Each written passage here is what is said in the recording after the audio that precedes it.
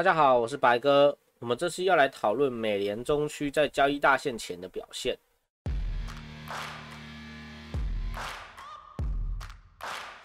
那照惯例一样，我们要先对分区内的球队进行分类。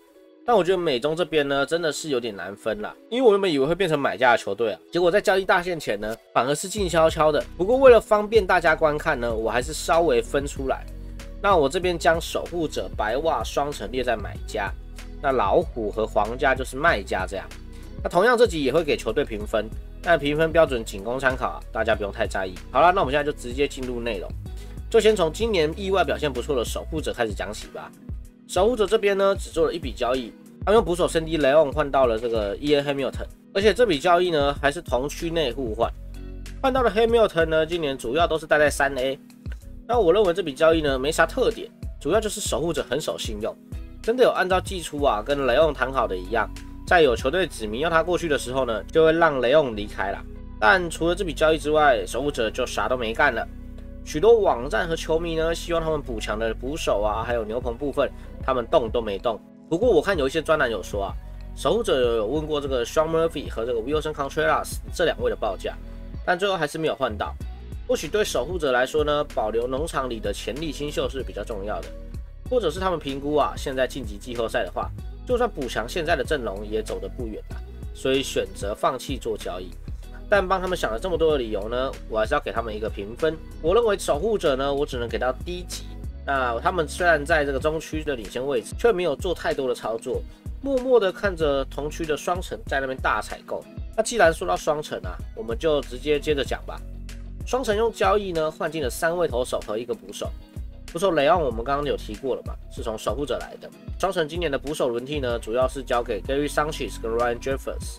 不过七月中的时候呢，因为 Jeffers 手指骨折，要休一个月到一个月半，所以双城少了一个替补捕手，才促成这次的交易。那再来讲他的投手 o h e Lopez 的进步呢，我想大家都看得见。因为他今年的薪水呢只有一百五十万美金，控制权则是还到二零二四，这代表双城还可以长期持有他，而且也不用太担心他的薪资率会太高。如果他能维持现在的成绩呢，这个就是便宜又好用。而且 Lopez 虽然说是这个终结者，但他也不是九局限定。他今年也有从八局上场收尾比赛的经验，也算是耐投啦。那另外一位补进的后援呢是 Michael Former，那 Former 呢是个半季打工仔，虽然说他的控球没有到很顶尖，但他今年的被全垒打率还蛮低的，而且也让对手打出了蛮多的内野飞球，因此他的 barrel percent 只有零点九，是生涯新低。之后他今年压制右打的方面呢还蛮有一套的，被打几率只有一成多而已。所以虽然他没有 Lopez 来的这么有影响力。但也是提升了双层牛棚的实力啦。而最后来讲呢，他们补到了先发投手 t y l e r Marley。Marley 我们提到了很多次，他的表现呢，再请大家去回顾一下他们之前的影片。我们这边主要就讲为什么双城会补进 Marley。那我认为 Marley 算是今年的这个第三好的先发投手。那双城今年的先发投手轮值人选呢是 Sunny Gray、Joe Ryan、Chris Archer 跟 Dylan Mundy。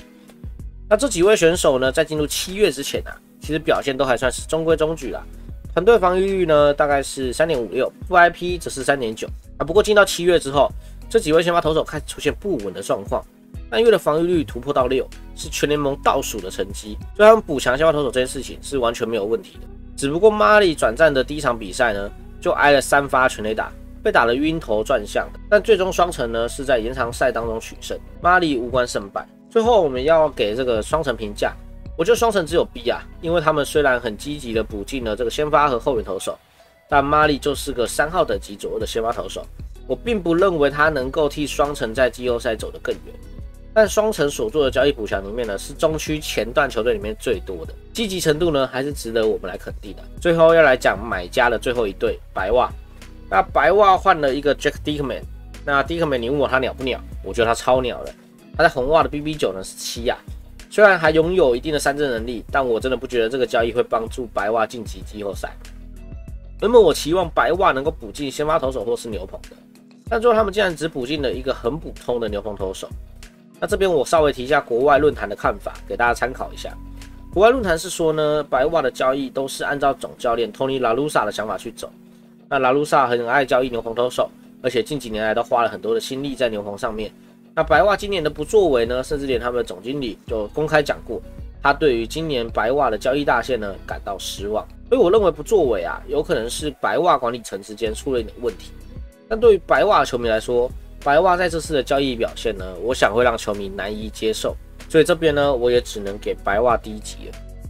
那我这边先总结一下，我知道白袜跟守护者呢，在这次交易大线的操作上面不太算是买家啦。白袜还勉强算有换到战力，但守护者那笔交易呢，真的就只算是小联盟球员之间的互换而已。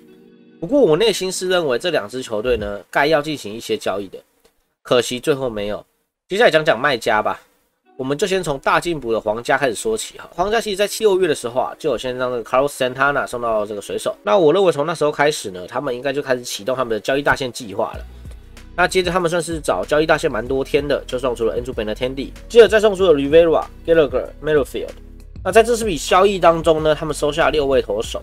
我认为这六位投手当中呢，适合聊的就是这个 Max Castillo、Bakeway 跟 TJ Sigma，就先从这三人开始聊起。Castillo 今年呢已经登上了大联盟，目前表现都还不错，可但他各球种呢都算是普通而已。速球是九十二到九十五迈，滑球跟变速球是他的拿手武器。不过虽然球种普通啊，但他的控球都是在中上等级，而且还挺耐投。这几年在小联盟都有投超过一百局。如果顺利的话呢，应该可以碰到五号轮。那再差的话呢，也可以丢去牛棚当长中继。那 Bakeway 则是从这个洋基送来的，他现在二十三岁，但成绩呢还是在高阶 EA。不过他拥有很好的三振能力，这归功于他有很好的滑球。我预期呢，他应该今年底就可以升上二 A 了。那 TJ Sigma 呢，也是从洋基送来的，他的成绩是高阶 EA，他还拥有很好的三振率。也有很好的控球，可是问题就在于啊，他今年就符合规则无选秀，所以杨基目前呢，四十人名单很满的状况下，将他送走呢也算是合理啦。而皇家在收下他之后啊，也将他升到了二 A，但他目前是有点撞墙的状况。那稍微讲完之后呢，我要来给皇家评分。我认为皇家值得一个 B 级啊，该做的都有做到，虽然换到的不是太顶级的球员，但衡量一下皇家能提供的筹码，我觉得这样应该算是差不多了。最后一队是老虎，老虎他们送出了 Robbie Grossman 和 Michael Foreman。那这两笔交易呢，我觉得都算是合理。换到的新秀呢，也都是普通等级的，甚至都排不到之前球队的农场前三十名。但我意外的是啊，为什么底特律没有交易他们的牛棚投手，像是 Soto？不过后来想一想啊，毕竟老虎现在就是要慢慢收割农场，所以其实不用急着将非到喜悦的投手送走。但今年的季末自由市场呢，就会是老虎的关键点。如果老虎没办法从自由市场捞回一些强力打者或是投手的话，他们现在留住牛棚投手这件事情呢，其实就没有这个必要了。那后来我去看老虎总管采访呢，他是说因为市场上有太多的后卫投手可以挑选，所以他们获得的报价不符合预期，他们最后才这个没有进行太多的交易。那就在我看完这篇新闻之后呢，这个总管也被开除了。最后我们一样要来给老虎评价，我决定给他们 C。那再来，我同整的这个分区的交易评价呢？我认为这个分区的表现呢，并不是太好。我自己觉得 OK 的只有皇家跟双城。